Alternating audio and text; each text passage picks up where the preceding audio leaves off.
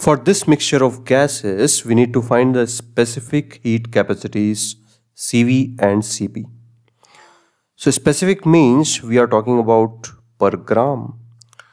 So the CV for example, what we need to find is energy given per gram of the gas to raise its temperature by 1 Kelvin at fixed volume.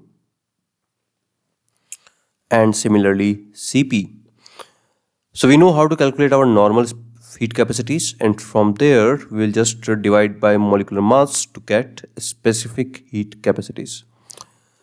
Because our normal heat capacities are for per mole and if we divide that by molecular mass we'll get it in per gram.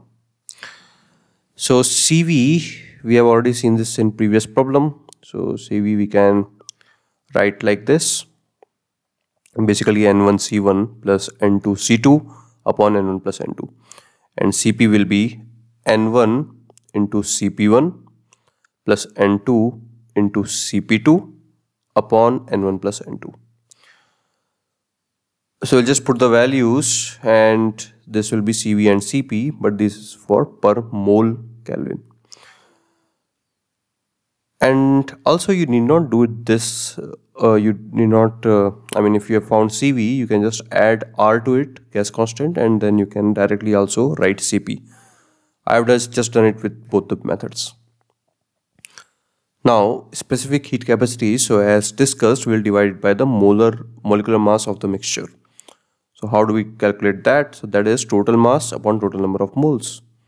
So total mass is given as 7 plus 20 and total number of moles will be 7 upon 28 plus 20 upon 40.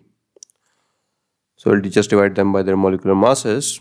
So here uh, this for the nitrogen molecule. So it will be N2. So because the so gas is diatomic, that's why we are writing 28. So you do that and you will get the molecular mass of the mixture as 36. So we already found Cv and Cp. Divide both of them with their molecular masses, sorry, molecular mass of the mixture and you will get your specific heat capacities. Joules per gram Kelvin.